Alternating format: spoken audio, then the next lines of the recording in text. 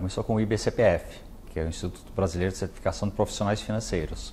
Esse foi o primeiro, foi o começo de tudo, que é, teve alguns idealizadores, eu diria que entre uma duas dúzias de pessoas, começando pelo Louis Frankenberg, e logo em seguida tive a oportunidade com 22, três pessoas ligadas nesse primeiro grupo me perguntar se eu queria contribuir também. E o planejamento financeiro trazia uma perspectiva nova de que você não necessariamente ia ajudar só pessoas, e por ajudar não estou falando de caridade, mas é ajudar realmente com diferentes é, perspectivas financeiras, com diversos pontos de partida, com diversas preocupações e não simplesmente de cuidar de uma fortuna. Eu acho que isso fascinou muita gente que começou a contribuir e desde o princípio foi uma coisa muito colaborativa. Nós não tínhamos escritórios, nós não tínhamos equipamento, não tínhamos empregados, não tínhamos nada, não tínhamos nem certificação, não tínhamos nada. Então a gente se juntou e cada um fez alguma parte que ajudaram muito ativamente a construir tudo isso, que ajudaram a, a traduzir a adaptar, a tropicalizar né, tudo que vinha à base dos Estados Unidos, da certificação do CFP Board, na época que depois passou, mudou de nome também. E nisso, cada um de nós ia ocupando as necessidades, as vagas que surgiam.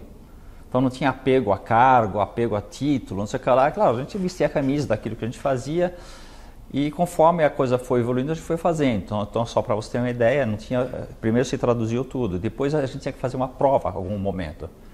Então tinha um processo de grandfathering na época, porque o, o estatuto do CFP Board exigia que para quem fosse compor, montar um CFP em qualquer lugar, a certificação tinha que ser CFP. Só que a gente não tinha como ser CFP porque não existia. Aí nós aprendemos a fazer questões de prova que a gente não sabia. Então veio uma pessoa dos Estados Unidos, CFP Board, e que nos então ensinou lá a fazer e nós começamos a fazer a prova. Aí o que, que surgiu? Com isso você teve então primeiro, uma primeira leva de pessoas certificadas, não lembro se eram 50, 60 eh, que, no total, então bem pequenininho. Mas essas pessoas pagavam o royalty da, da, marca e pagavam uma anuidade, que era muito modesta, mas porque a gente tinha algum trabalho, aluguel de. Aliás, nem aluguel de sala a gente não pagava, a gente prestava de um dos do Ulf Meinhardt na época e da Suzane Ferreira, que foi uma também das fundadoras na época. É, eles tinham criado uma companhia e a gente podia usar o escritório deles. Antes disso, ainda o escritório do Frankenberg mesmo. Então, todo, cada um trazia uma coisa, um refrigerante, algum salgadinho, e a gente trabalhava lá. E aí esses associados precisavam, queriam mais. E uma coisa a mais é, é essa profissão estava tá nascendo aqui no Brasil. Então tinha muita questão de falta de experiência, de troca de informação e tal. Então a, a, talvez a parte mais importante na época, que eu reputo sendo uma das mais importantes hoje, é o networking. É estar junto e aprender um do outro. E eu aprendi, eu acabei tendo a oportunidade de me engajar bastante nessa profissão através, através do mundo por outras questões.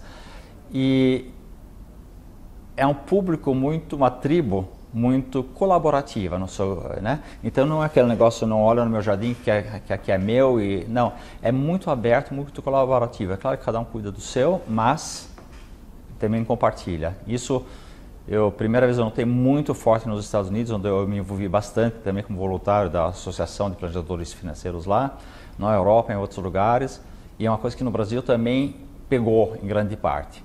Então, composição de pessoas, você tinha pessoas com conhecimento de mercado das várias áreas, porque, como você talvez saiba, a certificação abrange mais diversas áreas, então é da, da, é da dos investimentos, o planejamento em si, a questão de, de, seguros, questão de previdência, de planejamento sucessório. Então, são várias áreas diferentes e ninguém domina tudo.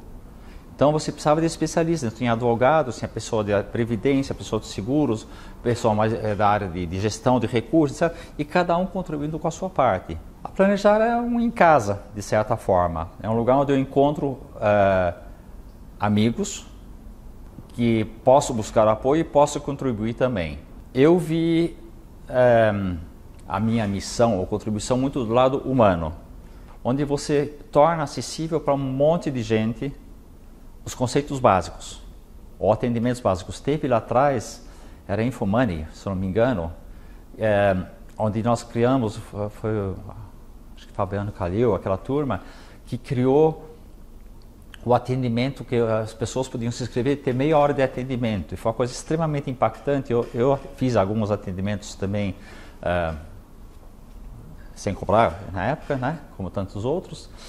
E, eu lembro do casal que veio, todo bem arrumado tal, e começou a falar. E, a, mas a realidade dessas pessoas, a realidade financeira das pessoas era tão distante da minha, tão inimaginável, que para mim, esse primeiro, eu levei uma ducha fria de 20 segundos, aí eu me recompus, obviamente, e eu acho que eu consegui ajudar um pouco. E é impressionante que você, em meia hora de bate-papo, sem grande máquina calculadora ou qualquer coisa, você consegue desatar um nó às vezes, ajudar a pessoa a andar para frente. E acho que isso que torna essa profissão bastante fascinante. As, os cálculos são importantes, tudo é importante, mas no fundo é essa questão da, da, das pessoas.